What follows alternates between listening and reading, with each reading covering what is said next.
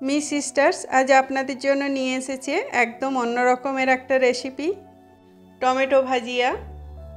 এটা অন্ধ্রপ্রদেশের famous street food snacks তাহলে চলুন বন্ধুরা, টমেটো ভাজিয়া তৈরি করি একদম অন্যরকমভাবে এটা বানানোর জন্য একটা পাত্রে নিয়ে নিচ্ছি এক কাপ বেসন, তার মধ্যে দিলাম এক চিমটি baking powder, one fourth teaspoon হলুদ গুঁড়ো, আর পরিমাণ মতো নুন এবার সব কিছু ভালোভাবে মিশিয়ে নিয়ে এর একটা ব্যাটার তৈরি করে নেব। এবার এর মধ্যে একটু একটু করে জল দিয়ে ব্যাটারটা তৈরি করে নেব। ব্যাটার তৈরি হয়ে গেছে, ব্যাটারটা ঠিক এই রকম হবে। এবার ব্যাটারটা 10 মিনিটের জন্য রেস্টে রেখে দেব।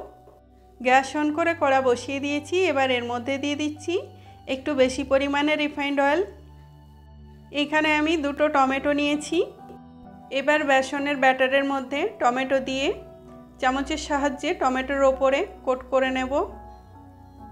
ব্যাটার যদি পাতলা হয়, সেক্ষেত্রে টমেটোর ওপরে ভালো বসবে না, তাই ব্যাটারটা একটু ঘন করতে হবে। টমেটো কোট করা হয়ে গেছে, এবার এটা ভাজার জন্য তেলের মধ্যে দিয়ে দেব।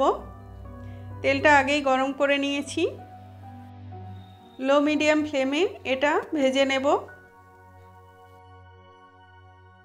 টমেটোটা ডিপ ব্রাউন করে ভাজবো না। একেবারে হালকা ব্রাউন করে এটা ভাজতে হবে। টমেটো ভাজা হয়ে গেছে। এবার এটা তুলে নিচ্ছি। আমি ওই একইভাবে আরও একটা ভেজে নেব। টমেটো ভাজিয়া রেডি এবার এগুলোকে ছুরির সাহায্যে মাঝখান থেকে কেটে নেব। বেসন থেকে টমেটোটাকে আলাদা করে নিতে হবে। ছুরির সাহায্যে এইভাবে আস্তে করে টমেটোটা তুলে আলাদা করে নিতে হবে। সব টমেটোগুলোই বের করে নিচ্ছি। টমেটোগুলো বের করে নেওয়ার পর বেসনের বাটি রেডি হয়ে গেছে।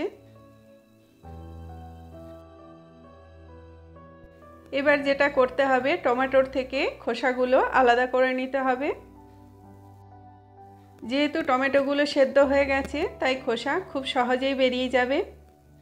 এইভাবে প্রতিটা টমেটো থেকে খোসাটা আলাদা করে নিচ্ছি।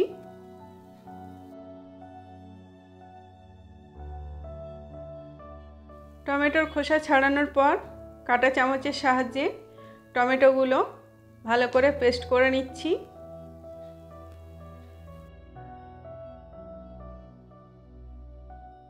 টমেটো ভালো করে পেস্ট করা হয়ে গেছে। এবার এর মধ্যে দিয়ে দিচ্ছি কিছুটা ধনেপাতা কুচি, একটা মিডিয়াম সাইজের পেঁয়াজ কুচি, ওয়ান স্পুন ভাজা জিরে গুঁড়ো,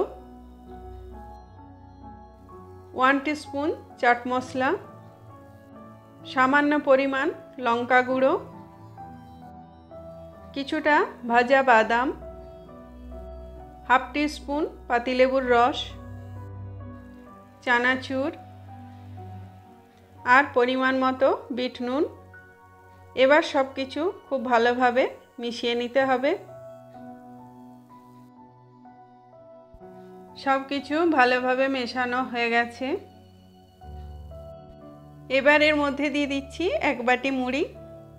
মুড়িটা দেওয়ার পর সব কিছুর সাথে মুড়িটা ভালো করে মিশিয়ে নিচ্ছি। এখানে আপনারা মুড়ির পরিবর্তে আলুকে সেদ্ধ করে ছোট ছোট করে কেটে দিতে পারেন। ভিডিওটা ভালো লাগলে একটা লাইক করবেন, বন্ধুদের সাথে শেয়ার করবেন, আর চ্যানেলের নতুন বন্ধুরা চ্যানেলটা সাবস্ক্রাইব করে আমাদের পাশে থাকবেন। মুড়ি সমস্ত কিছুর সাথে ভালো করে মেশানো হয়ে গেছে। এবার বেসনের যে বাটি তৈরি করে রেখেছিলাম, তার মধ্যে এটা দিয়ে দিচ্ছি। এর ভেতরে মুড়ি মাখাটা দিয়ে দেওয়ার পর এবার যেটা করব, এটা আরেকটু টেস্টি করার জন্য এর ওপরে দিয়ে দেবো আরও কিছুটা পেঁয়াজ কুচি।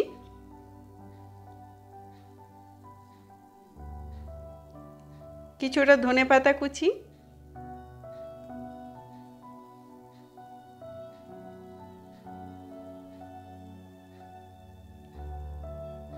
আর দিচ্ছি এর ওপরে ঝুরি ভাজা। একেবারে অন্য রকমের টমেটো ভাজিয়া রেডি। এটা বাড়িতে অবশ্যই ট্রাই করবেন আর আমাকে কমেন্ট বক্সে কমেন্ট করে জানাবেন কেমন লাগল।